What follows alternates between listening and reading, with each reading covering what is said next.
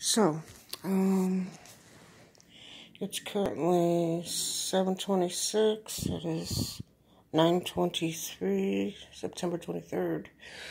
And this is in the evening. Um, looking for the money for Black Lives Matters because, um, like I said, I watched them go from a seat in Buffalo to, um, this mess. And I do have a viable lawsuit. So I had to find out where the money goes. So basically, here's a flow chart.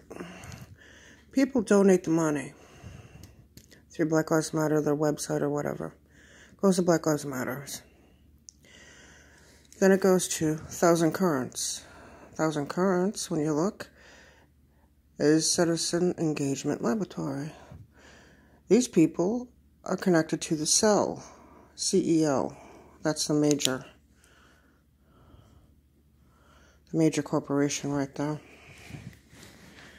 Then it goes in the CEL, CEO, sits the Ford Foundation, the Tides Foundation, your Open Societies uh, Foundation, which is George Soros. Then all this money, say, more money? This is considered dark money. Dark money is political spending by nonprofits gets bundled up into a PAC, Political Action Committee, right here. And then it gets shipped over to the Democrats.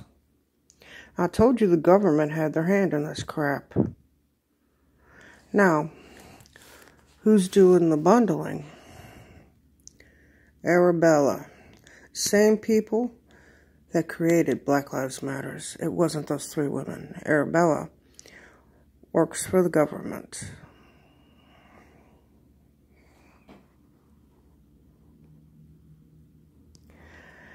And they create these kind of groups, grassroots groups.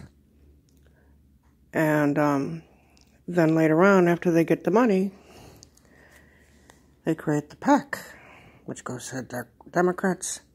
And that's what's considered dark money because it never gets tracked that it came from Black Lives Matters. Okay?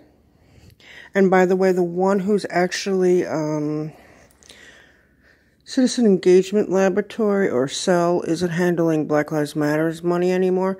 The Tides Foundation is now handling their money. So, yep, they'll be sitting at the table.